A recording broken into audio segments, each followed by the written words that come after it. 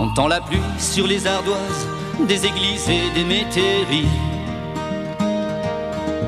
Entend la Vendée qu'on écrase, entend tout ce qui est un cri.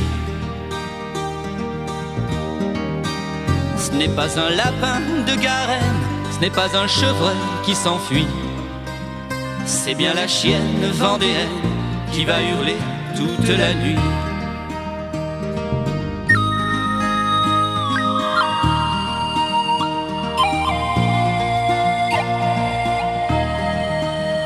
Entend le tocsin des campagnes, Saint-Aubin, Saint-Gilles, Croix de Vie.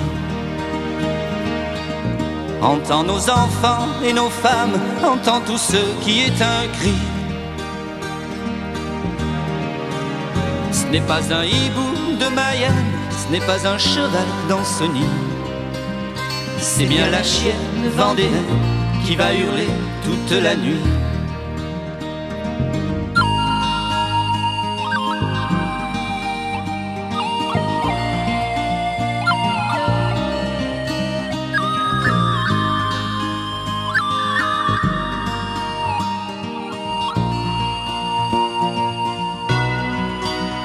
Entend les fusils qui résonnent au fond des bois de la charmille. Entend les Vendéens qui grognent, entend tout ce qui est un cri.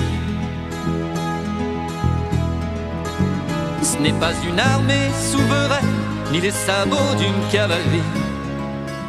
C'est bien la chienne vendéenne qui va hurler toute la nuit.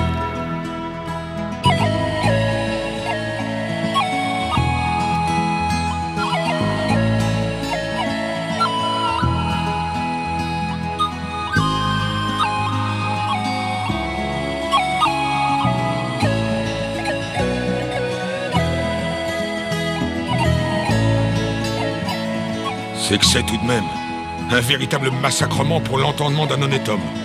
Que de voir des Iroquois de la Chine qui ont eu leur beau-père estropié par le Seigneur, leur grand-père galérien par le curé et leur père pendu par le roi.